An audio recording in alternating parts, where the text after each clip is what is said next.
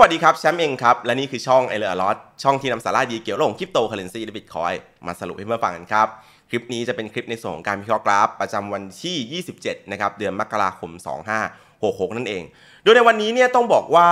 ตลาดเนาะค่อนข้างที่จะมีการปรับตัวลงนะครับหลายตัวนะครับเดี๋ยวเราไปดูภาพรวมตลาดกันดีกว่า ในภาพรวมตลาดวันนี้นะครับจะเห็นว่า BTC ปรับตัวลง 1.5%นะครับ ราคาตอนนี้ราคาอยู่ที่ 22,800 นะครับอีเรียมปรับลง 3%ครับ ตัวอื่นก็ลงเป็นลำดับ มีตัวหนึ่งที่ค่อนข้างจะ bullish นะ แล้วก็เมื่อวานผมก็ต้องบอกว่ายังไงดีเป็นตัวที่สนใจนะครับ นั่นคือตัวมาติกนะครับที่ทะลุขึ้นมาอยู่ที่ 9%ครับเนาะก็ตัวนี้เองจะเป็นตอนนี้จะเห็นว่า B ไอตัวมาติกกับตัวโซลาโซลาร่าเนี่ยเขาแข่งกันอยู่ 10 กับ 11เนี่ยสลับไปสลับมาเนาะเดี๋ยวโซลาร่าแซงเดี๋ยวมาติกแซง นะครับก็เป็นสีสันกันไปนะทีนี้เรามาดูประกาศเมื่อวานดีกว่าครับ ตัวประกาศเนี่ยเมื่อวานมีในส่วนของตัว GDP ที่ต้องบอกว่าคุยไปแล้วออกมาคือเกินคาดนะครับ GDP เกินคาด ซึ่งพอเกินคาดก็ส่งผลให้ตลาดมันดูดีใช่ไหมตลาดดูดีในส่วนของตัว US เนี่ยก็มีการปรับตัวขึ้นเล็กน้อยนะครับยังไม่ได้ส่งผลเอฟเฟกอะไรมาก แต่วันนี้ครับก็จะมีอีกประกาศหนึ่งเหมือนกันช่วงเวลา2ทุ่มครึ่ง นั่นคือในส่วนของตัวประกาศ PCE นะครับหรือดัชนีราคา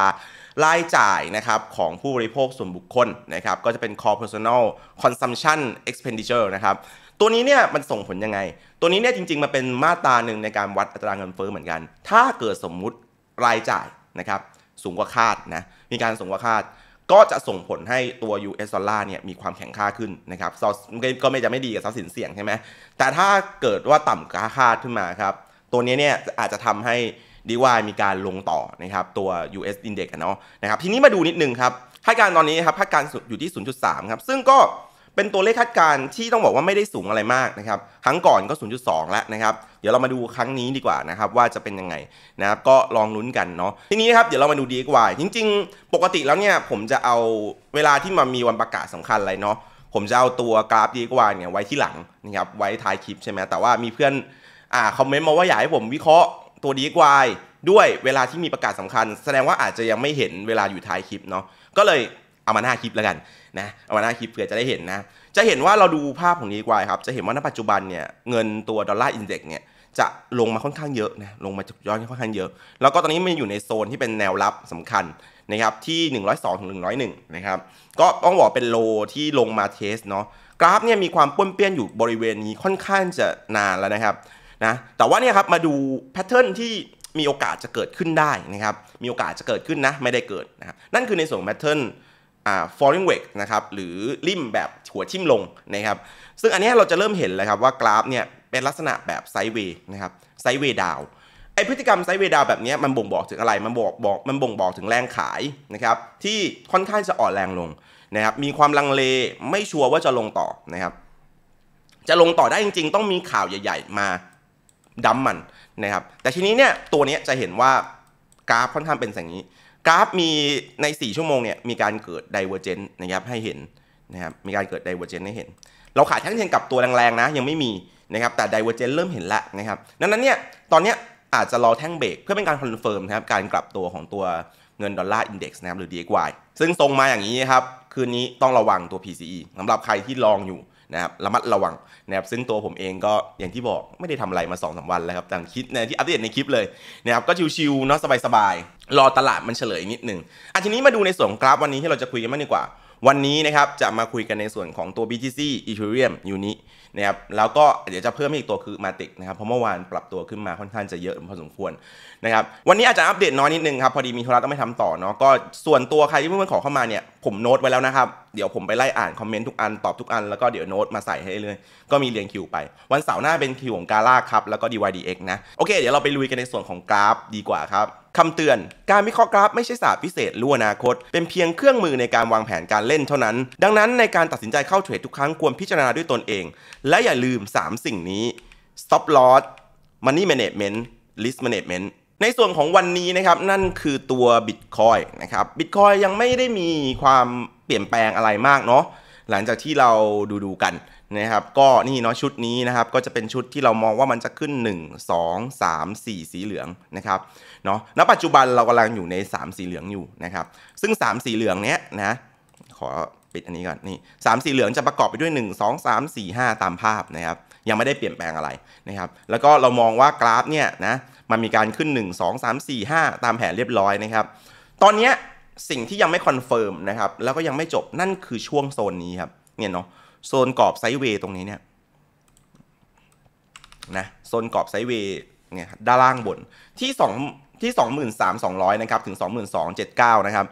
ตรงนี้เนี่ยเป็นกรอบไซด์เวย์ที่กราฟยังสวิงขึ้นสวิงลงอยู่นะพฤติกรรมตรงนี้เนี่ยจะเห็นว่าส่วนตัวอย่างที่ผมบอกผมไม่ลองแล้วเพราะผมรู้สึกว่าอัพไซด์ของขึ้นห้าจะยังไม่ค่อยเยอะนะครับ จริงๆ คนที่เปิดลองเนี่ย ถามว่าสามารถลุ้นขึ้นต่อได้ไหม จริง ๆ ลุ้นขึ้นได้ เพราะว่าตัวชุดเนี่ยนะครับอาจจะเป็นขึ้น 1 2 เดี๋ยวขึ้น 3 4 5 ก็ได้ แต่ว่าผมว่ามันสัดส่วนมันไม่ค่อยสมมาตรเนาะแต่ก็ไม่เป็นไรครับมันมันเป็นไปได้นะดังนั้นเนี่ยถ้าเกิดว่าใครจะเล่นลองอยู่นะครับ SL คุณต้องอยู่ตรงนี้นะอย่างที่บอกเมื่อวานเลยนะครับ SL คุณต้องอยู่ที่ 2261นะครับ2261 โดยประมาณแถวตรงนี้ก็คือโลก่อนหน้านั่นเองนะครับถ้าหลุดมาเนี่ยแสดงว่าชุดนี้ไม่ใช่ไม่ใช่ละชุดนี้จะเป็นพร้อมลงต่อแล้วนะครับนะอันนี้คือสิ่งที่เกิดขึ้นนะครับแต่ทีนี้เนี่ยสิ่งที่เรารอกันคือเรารอชุดนี้ใช่ไหมครับเรารอให้กราฟเนี่ยเลือกทางคืออย่างน้อยๆถ้าเบรกลงนะครับ โซน low ก่อนหน้าตรงนี้เนี่ยนะครับโซนเส้นสีฟ้าตรงนี้เนี่ยที่เป็น low ก่อนหน้าเนี่ยถ้าเบรกลงไปได้เนี่ยเรามองเป้าถัดไปครับคือคลื่น 4 ตรงนี้นี่นะครับคลื่น 4 ตรงนี้นี่เนาะเนี่ยเรามองแบบนี้ก็คือที่ประมาณ 2,100นะครับถึง 20,000อ่าผมมีขยับนิดนึงนะ ตอนแรกผมว่าผมวางสูงไว้หน่อย พอผมมาเช็ค demand zone ตรงนี้ผมว่าแถวๆนี้มีผลเอฟเฟกมากกว่าก็เลยขยับเลื่อนลงมาอีกนิดนึงนะครับก็เลยคิดว่าโซนนี้น่าเป็นโซนที่ โอเค เหมาะสำหรับการรอคลื่น 4 ลงมาครับ เวลารอขึ้น 4 ลงมาเนี่ยไม่ใช่ว่ารอเสร็จปุ๊บ คุณจะเอะอะเข้าได้เลยนะ คุณต้องมีการอะไรครับ ต้องมีการดูจังหวะแบ่งไม้เข้า ดูจังหวะในการแท่งเทียนกลับตัวเกิดขึ้นนะครับก็เนี้จะเป็นวิธีการเล่นเนาะเพื่อลุ้นขึ้น 5 ต่อไปนะครับ แต่ว่าถ้าเกิดว่ากราฟสมมุตินะครับไม่หยุดแถวโซนนี้นะครับไม่หยุดแถวโซนนี้ เรามีโซนไหนอีกนะครับโซนต่อไปครับดูนะมันจะมีโซนตรงบริเวณหัวขึ้นหนึ่งนะครับหัวขึ้นหนึ่ง คือตรงนี้ครับนี่ครับเห็นปะกราฟมีการลงมาย่ำย่ำย่ำย่ำย่ำเยอะมากนะครับโซนนี้ปึ๊บดังนั้นเนี่ยเราจะแบ่งโซนนี้เป็นดีมานโซน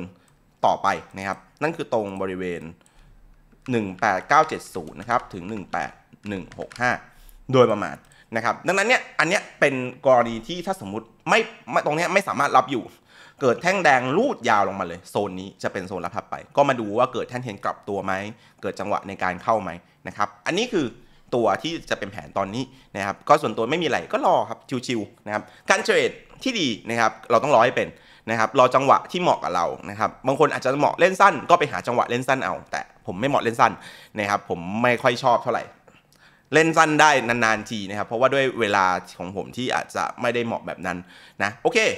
มาดูที่ตัวต่อมาครับ คืออีเทเรียมอีเทเรียมเนี่ยก็จะคล้ายๆกับบิตคอยเลยนะครับ แต่ว่ามันมีการย่อลงมาที่ค่อนข้างจะเร็วนะ อะ มาดูกราฟครับอีเทเรียมครับผมมองว่าชุดนี้นะครับ เป็นการขึ้น ABC เนาะ แล้วเราก็ซื้อมาแต่ข้างล่างแล้วนะครับ ก็ไล่ๆมาเรื่อยๆนะ ทีนี้อะมาดูครับ มาดูมาดูนิดนึงดูตรงนี้ปึ๊บนี่ ดูตรงนี้ ด้วยความที่ชุดนี้เป็นขาซีดังนั้นรหัสที่มันขึ้นต้องเป็น 1 2 3 4 5เนาะ ขึ้นไปนะครับ ณ ปัจจุบันเนี่ยผมมองว่าไอ้ทั้งก้อนนี้เป็นแค่ขึ้นหนึ่ง หรือเปล่านะครับน่าสนใจเหมือนกันนะขึ้นหนึ่งหรือเปล่า จริง ๆ หรือไม่ก็อาจจะเป็นขึ้น C ได้แต่อาจจะไม่ต้องถึงนั้นก็ได้ถ้าผมนับผิดนะครับ แต่ว่าไม่เป็นไรผมนับว่ามองอาจจะต้องขึ้นมาถึงตรงนี้ ก็เลยลุ้นๆอยู่ ทีนี้เรามาดูกราฟนิดหนึ่งครับณปัจจุบันเนี่ยชุดนี้เป็นขึ้นหนึ่งครับขึ้นมาละลงสองขึ้นหนึ่งสองสามสี่ห้าเห็นไหมจบสามนะครับอะมาดูตรงนี้ครับ เราจะเห็นนะว่ากราฟโซนเนี้ยมันจะมีโซนไซด์เวย์อยู่นี่โซนไซด์เวย์อยู่ในกรอบ ผมไม่รู้ว่า 4 จะเป็นอะไร 4 ตอนนี้อาจจะเป็นอะไรได้บ้างครับ 1 ลง A B C ขึ้น B เดี๋ยวลง C ขาหนึ่งเป็นแบบนี้นะครับแบบนี้ได้เหมือนกันนะโซนนี้เป็นโซนที่น่าจับตามองคือประมาณหมื่นอ่าประมาณพันห้านะครับถึงพันเนี่ยพันห้ายี่สิบเก้าถึงประมาณพันสี่เก้าสองนะครับโซนนี้น่าสนใจนะครับอันนี้อันที่หนึ่งหรือว่าบางทีอาจจะไม่ครับก็เดี๋ยวไซด์เวย์สามเหลี่ยมไป